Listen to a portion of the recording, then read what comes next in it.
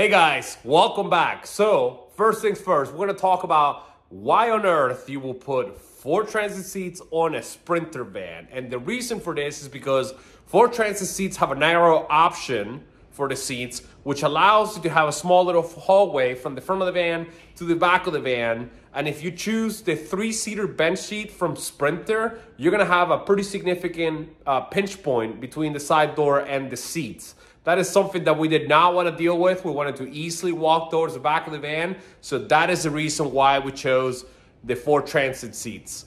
So let's get started with this video and thanks again for all the new followers we're getting on our new channel. We really appreciate it. Thanks. Okay, so the one thing that I noticed here with the um, transit seats on a Sprinter is that the floor ribs are not the same as the transit. So as you can see on this one, we're on a high rib and this one we're low. So in order to overcome that, did a lot of research and this is what people recommend doing is putting flat bar. This is one inch and all these ridges are different. So this is for that one it's the same as this one here. It's one inch, uh, one eighth thick, and then another one eighth thick. And this one is inch and a half.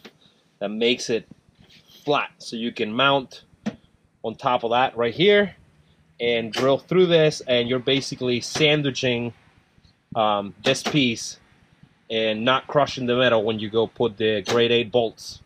So yeah, so that's what uh, was recommended. So I'm using, I am using the stock transit brackets. I am gonna cut them a little bit because these are too long. There's all kinds of sizes. Some of them are like basically from here to here and that's it. So that's I'm gonna basically recreate that.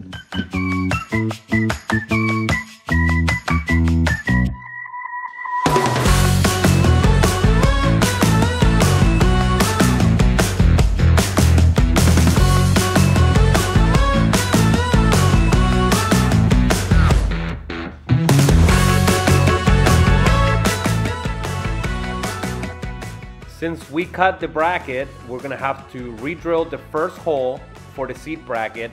And the one thing to keep in mind is that you wanna make sure that all the holes are the same in all four brackets.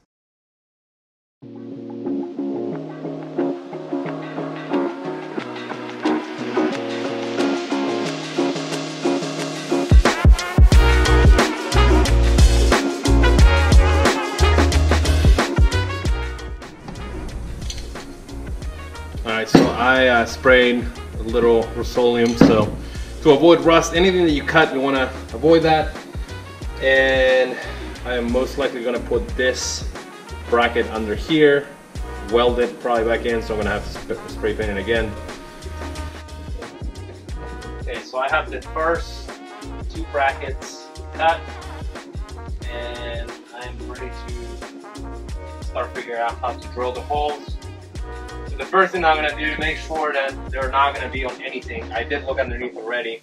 I don't think they are, but uh, I'm gonna take a punch and put some puncture holes on it uh, without going through the whole metal. That way I know where they are, and then before I drill, before I actually make a hole, I know that it's actually going to work.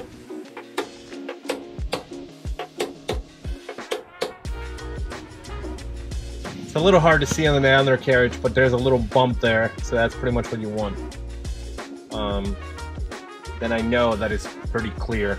So with the transit seats, it's gonna come out on this side of the fuel tank, and then under the fuel tank, it's gonna be like right there. That one actually went through, but it's pretty easy access behind that. I think I can get my hand through there and get that, figure it out, but it's not, it's not bad at all. So I don't even have to drop the fuel tank. Okay, the big thing is you can't put a whole lot of pressure because you don't want to nick anything underneath of it. So very slow.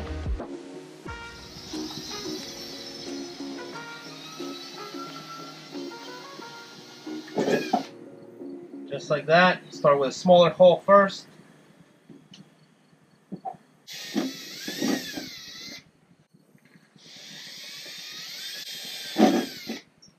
Alright, so for the holes that you can't see, put a zip tie. And that's gonna really help you see where the holes are just by feel.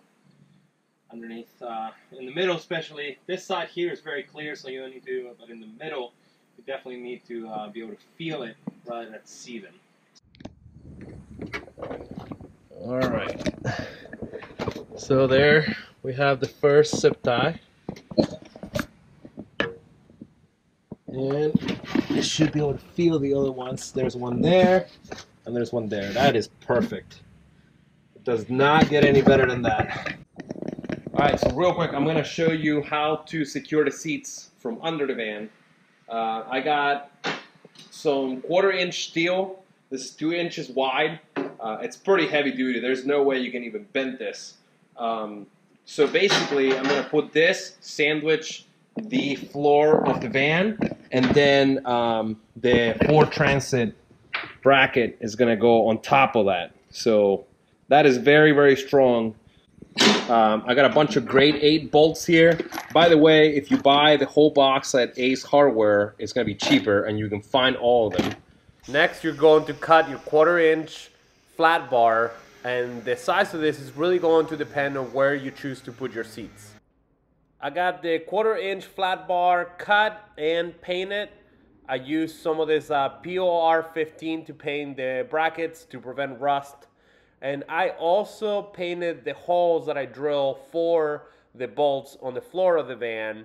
And I have the Ford Transit seat brackets completely ready to go, welded, cut, and painted fully prepped to prevent rust. I also painted the aluminum filler bars. These go on either a high rib or a low rib to fill the space to make the floor flat. So yesterday, I didn't want to bore you guys to death and record a bunch of nonsense, but uh, I was able to make all the brackets, um, and I painted them with uh, that POR 15 to uh, prevent rust. And um, I got them all done. They're all nice and dry now. So uh, here I'm going to show you. Um, basically I just label each one because they're all different and also the way the holes are uh, according to the brackets might be a little bit different. So um, this is a filler that I'm using for the rib when um, there's a gap in between because otherwise you will put this and you will just crush your floor and you don't want to do that with a quarter inch steel. So both of those go together on seat leg number one, which I'm saying that is the one closer to the driver's side. Um, and then number two gets a bracket on the bottom because it's low on the bottom, but then the top needs a filler. So I made this, it's basically two pieces of aluminum together um, into a T that fills that rib pretty well. So then moving over to here, I have all the other ones, seat number three, um, under the van filler, same as the other one with a quarter inch steel. And then it's just like the other one over there this is a filler piece here. It's slightly over to the side because that's how the seats laid out better. Um, and then um, also the quarter inch seal under the van. So all the brackets are ready to go. There's a ton of work to get all this stuff figured out. So when I cut these brackets, they were that long, which was crazy long. Um, and I researched it, and most of them come on the shorter version. So I don't know why the brackets I got uh, were bigger, but I know that you can cut them. So this part right here was at the beginning of that, and I didn't want this big gap because I would have had to put something in there. So I took this piece off of that and re-welded it on either side of this. That way there's support in the middle. I'm not crushing the uh, seat bracket onto the van so with all of these, they're gonna be one, two, three, four uh, grade eight half an inch bolts per leg. So like I said, um, you know, a lot of companies refuse to install the seats, and uh, probably for a good reason, liability. Uh, however, you know, I figure if I like over-engineer this, make it like crazy secure, then we're good to go. So that's pretty much what I chose to do. Uh, it's probably a little overkill. Uh, you can probably get away with a little bit less, but um, I'm not willing to take the risk. So I just made it like crazy, crazy strong. So, all right. So um, this is the filler piece that goes like on the rib of the van. There's a gap in there, so that's why this is needed. So what I'm gonna do is I'm gonna take this um, glue and sealant This is specially made for cars. I'm gonna put this in here and then try to sandwich that in between the floor of the van and the bracket. And then I'm gonna do the same thing with the next piece. So there is no gap whatsoever in between here. I'm gonna put a bead the whole way around and uh, should stay pretty nice and dry. So that's the whole purpose of that. Then when I bolt it in, it's probably all going to come out, which is good. That's what we want. So see how that goes. Okay, so I got the first one in, and I'm going to show you here what it should look like. It's a little messy, but you can see it right there. So the filler is inside of that. That's the quarter inch steel with the two grade 8 bolts. That This is half of it. So the other part of the one leg is over there not done yet. So basically, when you tighten up the bolts, all the silicone is gonna come off the side. So then you just run your finger through it. Make sure you wear gloves. This stuff is nasty. But anyway, so like for example, there that would have been a huge gap, but now it's not because it has silicone. So there's not gonna be any water getting in there at all. And then the last step that I'm gonna do is I'm just gonna like spray this with some bed liner or undercarriage paint or something like that. So it's going pretty well. I'm pretty happy with the results so far. Alright, so I want to show you what I meant by the spacer real quick. So here's my T-spacer that fits in that gap. And unfortunately with the seat, the way is that single seater, it has to be towards the end, not quite in the middle, but that is not a problem because I was able to drill through this spacer pretty well. So then you take your bracket in there. It looks pretty good. The first piece that I use is part of the stock mounting hardware. This is more of a square nut. I think like that's probably good in case it decides to turn. It's gonna run into the sides. And then I'm putting a grade 8 washer in there and then the bolt.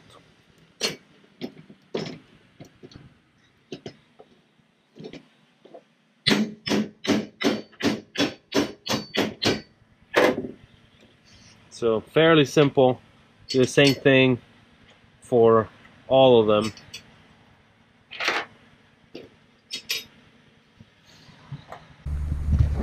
Alright, I'm going to show you job complete. It's a little messy because of my fingerprints. As you can see here, there are the grade 8 bolts. That's only one leg. Uh, I was lucky that in my case ended up on this side of that frame because Mercedes says that you should not be drilling through your frame just so you guys know but um, anyway so quarter inch seal the sandwich filler piece in there on this side because there's a gap and then if you go on the other side of the fuel tank I also got pretty lucky it's a little hard to reach in there but I was able to reach in there and then the toughest one was through this hole in there but again I can still reach through in here way behind it. This is the third leg here. And then the fourth is in there behind the seat shield, which you can bend. It's pretty easy to do it. But um, the next step is once this dries up completely, I'm gonna spray some uh, truck liner in here and then maybe color match it. I don't know. I don't know if I'll spend the money on that. It's kind of silly. It's under the van, but so I'll show you what the seats look like. and here they are I think that turned out awesome and you can you can remove the seats fairly easy here you just pop these and they come out that's one thing that is nice about this transit seats and especially doing the three because you can just pop this one out and then you still have the other two. So but I think that turned out perfect especially the these specific seats instead of the sprinter seats because as you can see here a pretty massive hallway. Massive for a camper van. But um, I'm comfortable with what I did comfortable enough to put my kids in it I think is uh, overly built. Um, but you know there's a reason why companies don't want to uh, install it because of liability. So do your research and do it at your own risk and uh, I'm just showing you how I did it. That doesn't mean that it's an expert opinion. So thank you for uh, watching this video, and I'll see you in the next one.